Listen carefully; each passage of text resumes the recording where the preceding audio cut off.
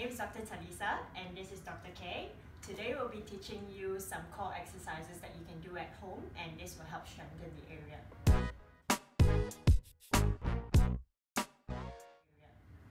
Okay, let's start with the first one. Do you want to lie on your back for me? Alright, for the first one, we'll get her to bend one knee. Keep the other one straight. Now with that one, you just want to raise this part up. Remember, this exercise is to work on your core muscles, so you want to make sure that this area right here is the one that's being activated. And this one right here, it doesn't have to be too high up, just a good height around this level would be just nice. Okay, you want to start off by doing this for about 10 seconds, and as you get more comfortable, you can do it for 30 seconds or even one minute. So the next exercise that we'll be doing is called the glute bridges. With this one, we want to make sure that the legs are reasonably apart, so at around um, hip width. And then for this one, we want to make sure as well, it's a core exercise. So again, we want to make sure that this area, you are in a brace position where if someone punch you, you're just like contracting that whole area, okay? And then for the glute part, you want that to make sure that that part is squeezed really tight. Okay, as soon as you get got all that right, you're just going to lift this part up. Okay, you want to make sure that this whole area is in a reasonably straight line. Okay, now once you get comfortable with this, you can move on to the next stage, which is just keeping one knee straight. Okay, again with this one, you want to make sure that you don't drop this part, so this part needs to go back up. Okay, and again, you are in this nice straight line. Okay, you can come down now. You want to do that again for about 10 seconds. If it gets easy, 30 seconds up to a minute. Okay, or you could do it two to three times of 30 seconds. So for the next core exercise, we're going to start with a tabletop position. For this position, we want to make sure that our arms is right below our shoulders and our knees are right below our hips. So we want to make sure that we're all aligned and this part right here, we want to keep it nice and flat. Okay, we'll start off by getting her to raise one leg, straighten that one leg. Yep. With this one again, it is a core exercise, so you want to make sure that this area is still nice and tight when you do this. Okay, raising that leg up. We want to make sure that everything again is nice and straight. You will, you will repeat that on both sides. This one up please. Yep, and again we want this nice and straight. Okay, once you get comfortable with this one, you want to keep this leg straight and we will raise the opposite arm as well. Notice how she's still in this really nice and straight position. That's the position that we need to stay in for the whole exercise. Okay, and again, this part, just make sure that it's not too arched, it's nice and tight in the core area. Again, you want to do this for about 10 seconds. Once you get more comfortable, hold it for 30 seconds up to a minute. You can repeat this for two to three times or 30 seconds. The next exercise that we'll be doing is called the plank on your elbows. Okay, so We'll get her into a nice brace position again. Okay, for this one, we want to make sure that again our elbows are beneath our shoulders on both sides. And your legs, you want to keep that about hip width apart.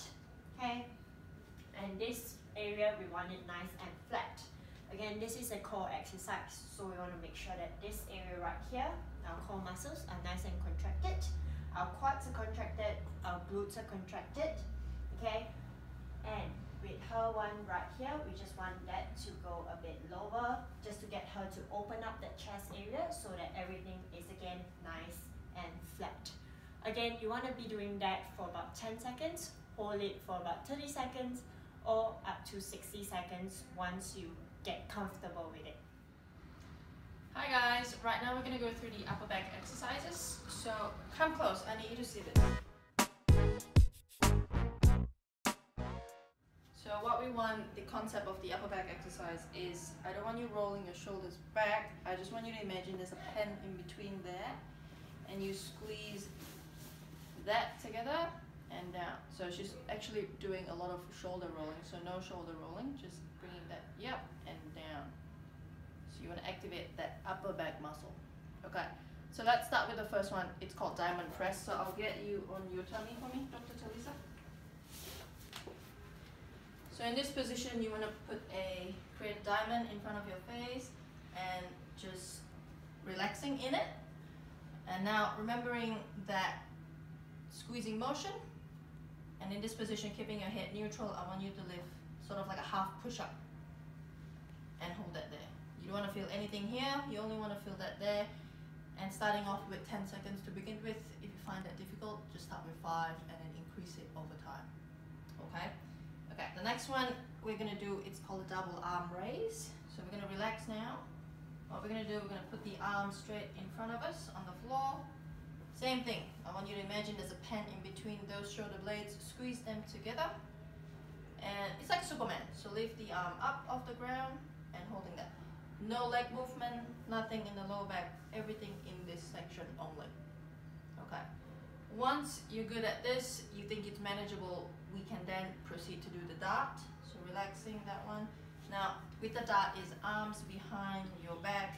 Only proceed with this one if you're good at the Superman version of it.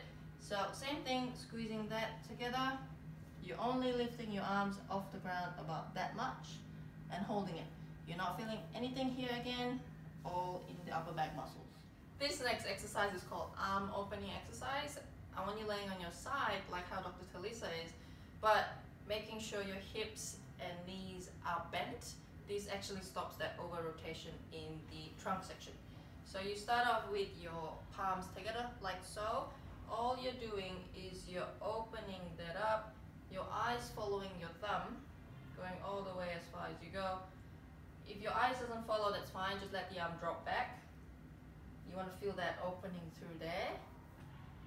And then you basically repeat, go back to palms being closed, and you actually do this 10 times on each side. Right, the next exercise I'm going to get you to sit up for me. So, remembering the first concept we had earlier was drawing that shoulder back and down, but this time she's to hold presumably weights, but we're to use water bottles in this instance. So we're to keep those elbows tight to her body and all she does is engage that back muscle and bringing her shoulders all the way out to the side and holding that So starting with 10 seconds and going up in increments. Okay, now we're to do some neck exercises. Few, we are going to go into all fours. Okay, again with this one, you want to make sure that your hand is below your shoulders and your knees are below your hips. So both sides, you want it nice and white. Okay? Now with this one, you want to make sure that this is a tabletop again, nice and flat. The first one that we'll be doing is I'll get her to reach her ear to that shoulder right there, just turning that way. Okay, you want to hold that for about 10 seconds and build that up accordingly. Okay, do that on both sides again. Okay, just make sure with this one that the aim is just reaching your ears to your shoulder. For the next one, we'll do the rotation one. So meaning looking to the right. So you just want to turn your head to the side. Okay? And turning to the other side again. Again, just make sure that everything here is still nice and flat. Last one, we want to be looking down. Okay, for this one, when we are looking down, we want to be hunched in this position. Now, as she flattens this part down, you want to look up. So with nice arch. Okay, so you repeat that, going down, again, nice hunch right there, nice and rounded, and going down flat, looking up. Alright, you want to do that in about, for about 10 times. Okay?